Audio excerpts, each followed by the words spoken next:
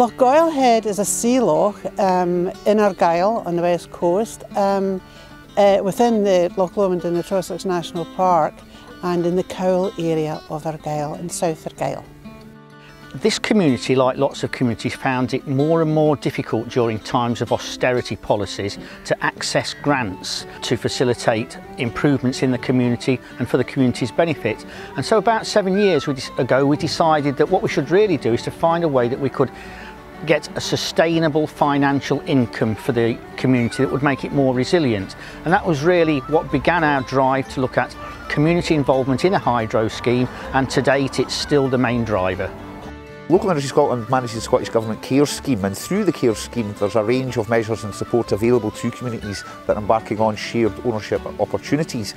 Uh, we understand that uh, dealing with a, commercial developer under these circumstances can be quite uh, daunting so we are there to support the community through that both with advice and resources and also with funding. Well the Forestry Commission is involved in this project because uh, this is on uh, the National Forest Estate Forest Enterprise Scotland is the organisation that looks after um, the, the estate and we uh, reach agreement with developers on any um, schemes which they approach us.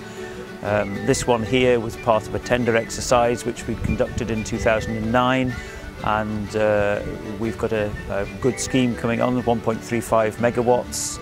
In this particular scheme, we owned land and also had a water treatment works in close proximity to this particular hydro scheme. So our role in there was to provide access for construction and land for the actual hydro turbine itself. And it's been a real success for Scottish Water. The benefits have been reputational because we're there supporting communities uh, we're also able to support our owner, who are the Scottish Government and their aspirations for national renewable targets. We exported electricity for the first time in September, so we, we are now an active hydro project scheme. I, I feel it will enhance the, the community enormously.